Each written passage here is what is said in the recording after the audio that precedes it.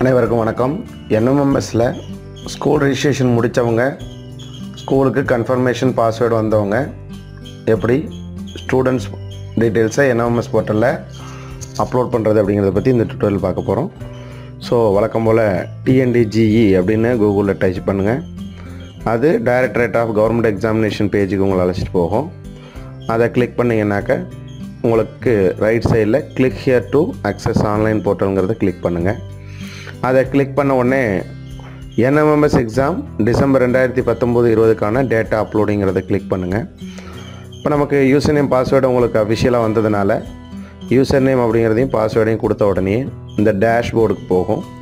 First வந்து எந்தெந்த மாணவர்கள் நம்ம அப்ளை பண்ணணுங்கிறதுக்காக டேஷ்போர்டில் போய் ஸ்டூடெண்ட்ஸை புல் பண்ணணும். அப்போ புல் ஸ்டூடெண்ட்னு ஒரு இது இருக்குது பார்த்தீங்கன்னா அதை கிளிக் பண்ணுங்கள் இப்போ நம்ம இதில் எத்தனை பேர் இருக்காங்கன்னு நாங்கள் காட்டும்.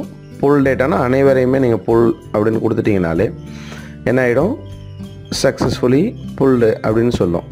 ஸோ பார்த்தீங்கன்னா இப்போ பதிமூணு பேரையும் கேண்டிடேட்டை புல்டு பண்ணிட்டேன் அப்படின்னு அது சொல்லுது. சரி. இதுக்கப்புறம் நம்ம அப்ளை பண்ணுறதுக்கு அதர் எக்ஸாமில் அப்ளை எக்ஸாம்ங்கிறது போகிறோம் இங்கே என்எம்எஸ் எக்ஸாமுக்கு நம்ம அப்ளை பண்ண போகிறோம் அதனால் அப்ளை எக்ஸாம் கொடுத்துட்டோம். இப்போ பார்த்தீங்கன்னா இந்த ஸ்டூடெண்ட்ஸோட நேம் லிஸ்ட்டு ஃபுல்லாக இருக்கும். இருக்கா? ஸோ இப்போ ஃபஸ்ட்டு இந்த பையனுக்கு நம்ம அப்ளை பண்ணுறோம் அப்ளை என்ன மெஸ் அப்படின்னோன்னு ஃபஸ்ட்டு அவனுடைய ஃபோட்டோ இருக்கும் ஸோ நம்ம ஏற்கனவே அவனுடைய ஃபோட்டோவை நம்ம மொபைலில் பிடிச்சி லேப்டாப்பில் ட்ரான்ஸ்ஃபர் பண்ணித்தாலும் ஐம்பது கேபி அளவுக்கு இருக்கிற மாதிரி வச்சுக்கணும். ஸோ அதுக்கு என்ன பண்ணணும் அப்படின்னா இந்த சூஸ் ஃபைல் அப்படின்னு செலக்ட் பண்ணணும். இந்த சூஸ் ஃபைலை செலக்ட் பண்ணோன்னா நம்ம டெஸ்க்டாப்பில் எந்த இடத்துல நம்ம சேவ் பண்ணியிருக்கோமோ அந்த ஃபோல்டரில் அந்த ஃபோட்டோஸை வரிசையாக சர்ச் பண்ணி அதுலேருந்து அதை செலக்ட் பண்ணி ஓப்பன் கொடுத்தீங்கன்னா இங்கே அந்த பேர் வந்துடும் பார்த்தீங்கன்னா தெரியும் அந்த பிக்சருடைய பேர் வந்துடும் நெக்ஸ்ட் எம்இஸ் நம்பர் கரெக்டாக இருக்கான்னு செக் பண்ணிங்க. அதெல்லாம் ஆல்ரெடி எம்இஸ்லேருந்து எடுத்ததுனால அதில் ஒன்றும் பெரிய மாற்றங்கள் இருக்காது. நம்ம ரெசிடென்சியில் எப்படி இருக்குது ரூரலாக அர்பன் அது கொடுக்கணும். அப்புறம் கேஸ்ட் என்ன அப்படிங்கிறது கரெக்டாக கொடுக்கணும். அப்புறம் டிசபிலிட்டி எதுவும் இருக்கா அப்படிங்கிறத நம்ம பார்க்கணும். டிசபிலிட்டி இல்லைன்னா நன் அப்படின்னு கொடுத்துட்றோம் அப்புறம் மீடியம் என்ன மீடியம்லாம் அவங்க எக்ஸாம் எழுதுகிறாங்க தமிழாக இங்கிலீஷாக அப்புறம் ரெசிடென்சியல் அட்ரஸ் அது வித் நம்பரோட ஆதாரில் உள்ள மாதிரி கொடுக்கறது மிகவும் நல்லது. ஏன்னா அவங்களுக்கு ரெஃபரன்ஸ் எல்லாத்துக்குமே ரொம்ப வசதியாக இருக்கும். ஸோ ஆதாரில் உள்ள மாதிரி அட்ரஸை கொடுத்துட்றீங்க சரிங்களா? அதுக்கு கீழே நம்மளுடைய ஸ்கூலினுடைய பேர் கரெக்டாக இருக்கா அப்படிங்கிறத ஒரு தடவை பார்த்துட்டு அதுக்கப்புறம் கீழே பார்த்தீங்கன்னா ஃபாதரோட எஜுகேஷன் இந்த ஃபாதரோட எஜுகேஷன் எத்தனாவது வரைக்கும் படிச்சிருக்காங்க? அப் டு இப்போ ஒரு ப்ரைமரி வரைக்கும் படித்தாரா அதாவது அப்பர் ப்ரைமரி அல்லது செகண்டரியா சீனியர் செகண்டரியா டிகிரி எல்லாமே இதில் இருக்குது அதுக்கு அடுத்தது இப்போ உதாரணத்துக்கு இந்த அப்பா வந்து அப்பர் ப்ரைமரி வரைக்கும் படிச்சிருக்கிறாரு. அடுத்தது அவருடைய வேலை அப்படின்னு பார்க்கும்போது அவங்க என்ன வேலை பார்க்குறாங்கிறது இங்கே ஆப்ஷன்ஸ் கொடுத்துருக்காங்க அதில் வந்து தினக்கூலியாக இருந்தாங்கன்னா ஆப்ரேட்டர் அண்ட் லேபர் அப்படின்னு கொடுத்துடலாம். சரிங்களா? அடுத்ததாக அம்மாவுக்கு அதே மாதிரியே. இப்போ ப்ரைமரி வரைக்கும் படிச்சிருக்காங்க இவங்க.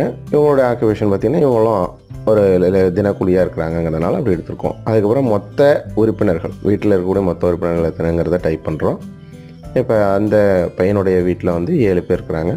அப்போ பிரதர்ஸ் எத்தனை பேர் அப்படின்னு பார்த்தீங்கன்னு சொன்னால் அதை கரெக்டாக கவுண்ட் பண்ணி எழுதணும். அப்புறம் சிஸ்டர்ஸ் எத்தனை பேர்? அவனுக்கு சிஸ்டர்ஸ் எத்தனை பேர் இருக்காங்க?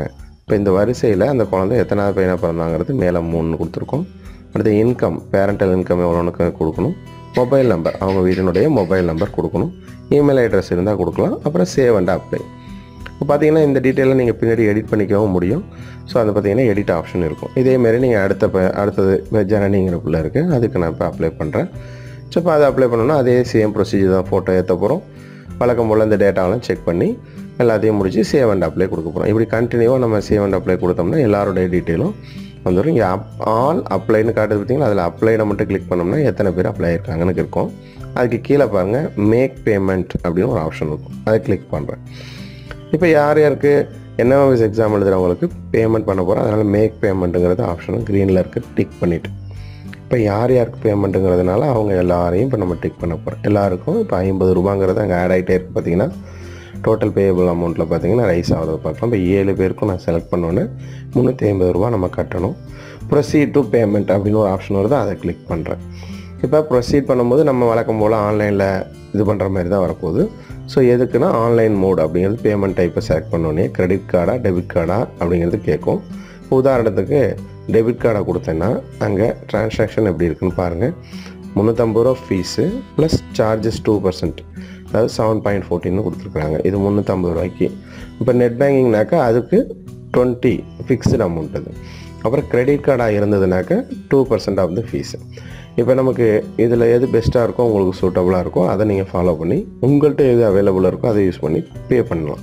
இப்போ ப்ரொசீட் டு பே கொடுத்தீங்கன்னா உங்களுடைய அந்த டெபிட் கார்டாக எதை நீங்கள் செலக்ட் பண்ணிங்களோ அதனுடைய டீட்டெயில்ஸை கொடுத்து அதனுடைய சிவி நம்பரை கொடுத்து மே பேமெண்ட் கொடுத்தீங்கன்னா உங்களுக்கு ஓடிபி வரும். அது வழியாக நீங்கள் பணத்தை செலுத்திடலாம். இது ஒரு மெத்தட் சரிங்களா? அப்போ பேமெண்ட் முடிஞ்சிருச்சு அப்படின்னு சொன்னாக்க அடுத்து ரிப்போர்ட் எடுக்கணும் இல்லையா?